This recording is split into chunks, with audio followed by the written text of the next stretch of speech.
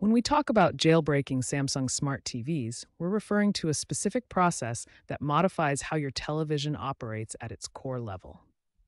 Jailbreaking a Samsung smart TV means gaining root access to the Tizen operating system and installing applications that aren't available through the official Samsung App Store. This process allows users to bypass the restrictions of Samsung's official app ecosystem, access a much wider range of applications, and customize their television's interface in ways not normally possible. However, jailbreaking comes with significant risks that users must understand. It will void your manufacturer warranty, can introduce serious security vulnerabilities, and may cause system instability.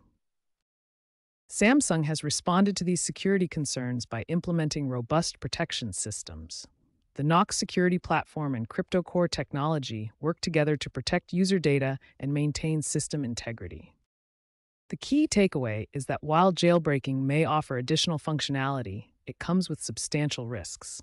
Understanding these implications is absolutely essential before attempting any modifications to your Samsung Smart TV. The most common method for installing third party apps on Samsung Smart TVs is enabling developer mode. This feature allows you to install applications from outside the official Samsung App Store. To enable developer mode, you need to access your TV's settings and enter a specific sequence using your remote control. This process varies slightly between different Samsung TV models. Once developer mode is enabled, you'll need to allow installation from unknown sources.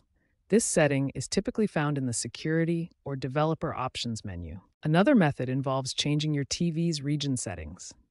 By switching to a different country, you can access apps that may not be available in your current location through the Samsung App Store. However, many experts recommend using external streaming devices as safer alternatives. These devices offer easier app installation without modifying your TV's software or voiding its warranty. The Amazon Fire Stick is a popular choice that plugs directly into your TV's HDMI port. It runs Android based Fire OS, making it easy to sideload apps using APK files without affecting your TV's main system. Google Chromecast is another excellent alternative that allows you to cast apps from your smartphone or computer. While it doesn't support direct APK installation, it provides access to a wide range of streaming services.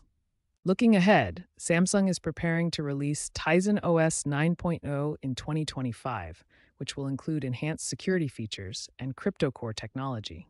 This may make traditional modification methods more difficult. For most users, external streaming devices offer the best balance of functionality and safety. They provide easy access to third party apps without the risks associated with modifying your TV's firmware or potentially voiding your warranty.